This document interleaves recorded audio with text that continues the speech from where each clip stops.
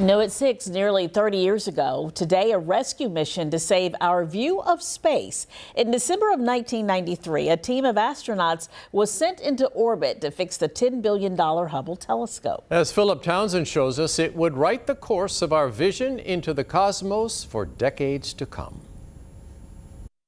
Let's go back to 1990, shortly after the groundbreaking Hubble telescope was first launched into orbit. It didn't take long for scientists to see something was wrong. At the time, it was called the eighth wonder of the world, ready to give us $10 billion views of space we'd never seen before and could hardly believe. But when astronomers and engineers analyzed those first images sent back, they were stunned to see the images were blurry. Even worse, the issue they discovered was smaller than the width of a human hair. Hubble's primary mirror was polished into the wrong shape. Fast forward to this day, December 9th, 1993. The Space Shuttle Endeavour embarking on a rescue mission to save Hubble and finally bring us the views we had waited decades for. After five intense days of spacewalks, a crew of astronauts was able to replace the main camera and correct Hubble's mirror.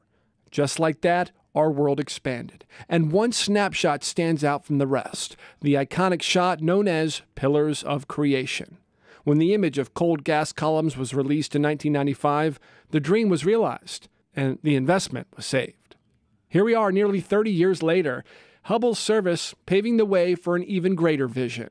This year, NASA debuting images from the brand new James Webb Telescope, giving us the deepest views of the universe yet. We're talking about galaxies from 13 billion years ago.